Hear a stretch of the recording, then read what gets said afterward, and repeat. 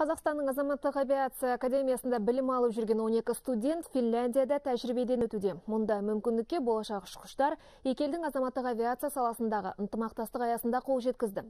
Хельсинки аспандағы ұшу жаттығулары біздің студенттердің алып ұшақтарды басқаруға Европалық лицензия алуына мүмкіндік береді. Фин оқу орталығының ұшу алаңында болып қайтқан тілшіміздің репортажы.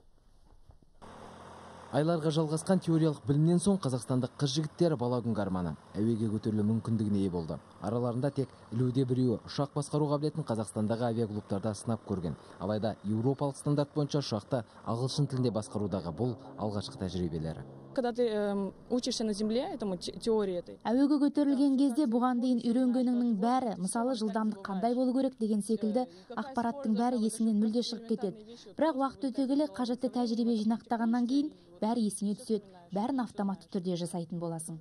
Әрине бірінші уақыт инструкторлармен ұшамыз. Ол 22 ә, полет. Енді сол өз әрбір полеттің өзінің бір сондай тренингтер дейді. Әрбір отработка жасаймыз. Жаттығулар emergency drills дейді. Сол әрбір ситуацияларға байланысты. Және де содан кейін өзіміз жеке ұша бастаймыз. Енді сол уақытты өте қатты аңсап жүрміз. Қазақстандық дипломмен қатар еуропалық лицензияға ие болған түлектер қазақстанның жетекші әуе компанияларында ғана емес одан тыс жерде де жұмыс істеп заманауи боингтер мен эйрбастарда халықаралық сапарларды жүзеге асыра алады. Ал әзірге жастар симуляр румдарда шеберліктерін пысықтауда. Айтпақшы фин еліндегідей оқу орталықтары қазақстанда да ашылмақ. Біздің ел биылдың өзінде оған қажетті ұшақтар мен жаттығу жабдықтарын сатып алып қойған. Будем создавать материально-техническую базу. Орталықтың материалды техникалық негізін қалаймыз.